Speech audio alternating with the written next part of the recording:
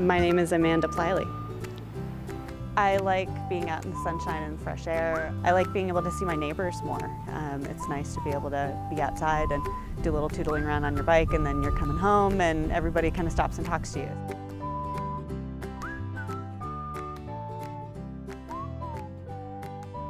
So today I'm dropping off my bike here at Clever Cycles and I've had it for a little while but it's not really very comfortable for me to ride.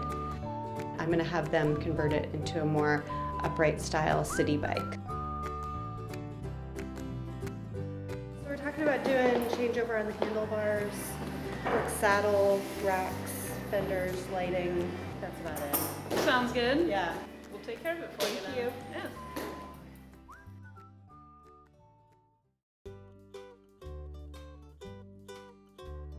Today we're going to be converting um, Amanda's bike from the stock touring build to more of a town bike, uh, giving her a more upright riding position and making the bike more versatile.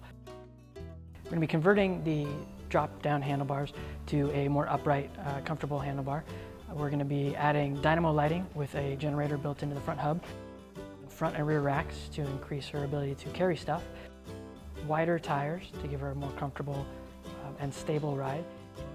We're also going to be adding a Brooks saddle uh, to make it uh, more comfortable for long periods of riding.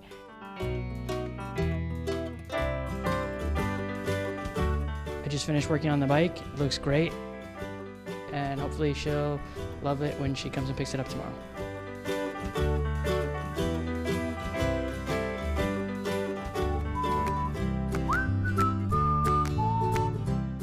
So I'm back to pick up my bike from Clever Cycles. It's been a couple of days and I'm really excited to see what they've done.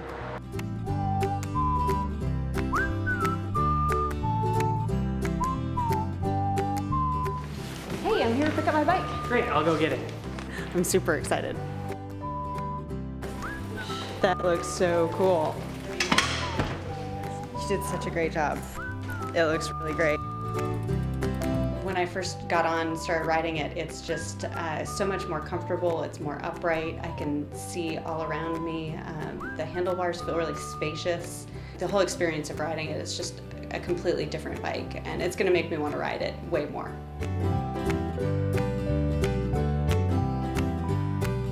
Thanks, Clever Cycles.